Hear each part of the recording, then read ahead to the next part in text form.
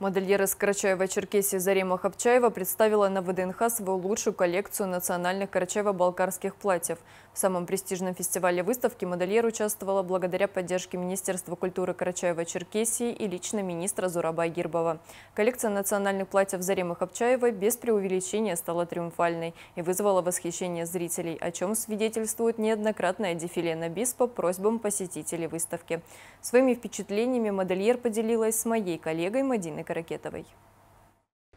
На выставке ВДНХ платье модельера Зарим Хапчаевой произвели настоящий фурор. Это была не просто выставка национальных платьев, а самый настоящий модный показ, рассказывает мастерица. Показ мы провели 8 раз, так как люди, которые приходили туда, и они видят, что у нас девочки уже в таких нарядах, кто-то там сидит, кто-то тут сидит, отдыхает, и они просили, чтобы мы опять вот э, эту проходку повторили именно для них. И каждый раз, когда приходила определенная делегация, мы э, делали этот показ, и каждый раз, когда мы это проводили, люди подходили, трогали руками, удивлялись. Одни вообще хотели фотографироваться только вот э, с этими нарядами, с девочками. Коллекция называлась «Из прошлого в будущее». Зарима Хапчаева наглядно показала эволюцию Карачаева-Балкарского национального платья. Модельер взяла временной отрезок с 17 века, когда законодательницей моды была знаменитая княгиня Гошаях Биче по наши дни. Посетители дефиле восхищали и настоящие старинные украшения, которые были использованы в отделке некоторых платьев. Во многих нарядах у меня были оригинальные, вот как сейчас на мне, э, украшения, именно украшения карачаево-балкарского ланского народа.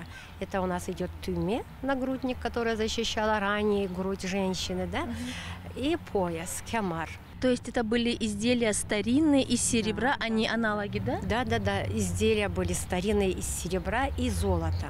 Э, многие вещи там серебряные, например. Вот то, что на мне, это вот серебро идет, и она покрыта сверху золотом. И раньше практически все было вот в таком свете. А в качестве обуви использовались высокие деревянные сабо. Они не только придавали рост и стройность девушке-горянке, но и имели весьма практичное предназначение.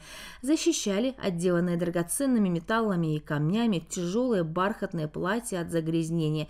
Ведь постирать такой наряд было весьма проблематично. А сколько весит полноценное национальное платье с, э, с шапочкой, со всеми этими делами? Ну, если честно, если взять, просто уже вот эти атрибуты, то, что на мне, это уже хороший вес свой имеет. Это около трех килограммов практически получается. Бывает, что э, полтора килограмма весит э, только один пояс. Э, нагрудник бывает, что весит 700 грамм, килограмм.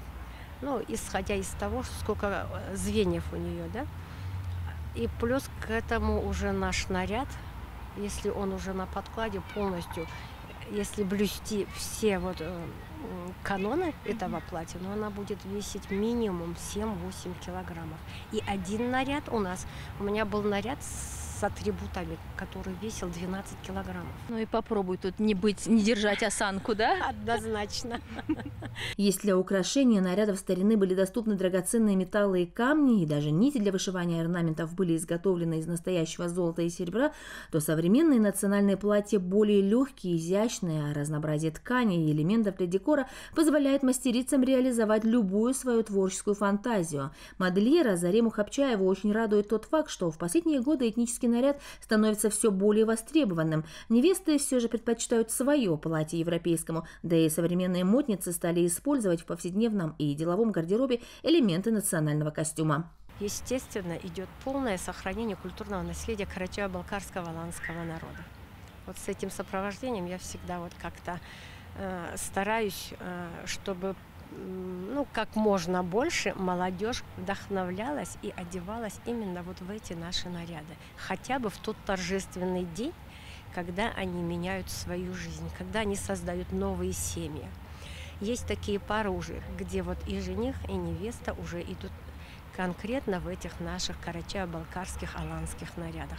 И вы знаете, это очень красиво. В каждое платье мастерица вкладывает любовь и частичку своей души. Зарема Хапчаева признается, что прежде чем взяться за изготовление платья, ей необходимо до мельчайших подробностей увидеть его в своем воображении, сопоставить будущее платье с образом его обладательницы. Не то, что там цвет, модель, еще что-то, рисунок может не подойти именно этому человеку.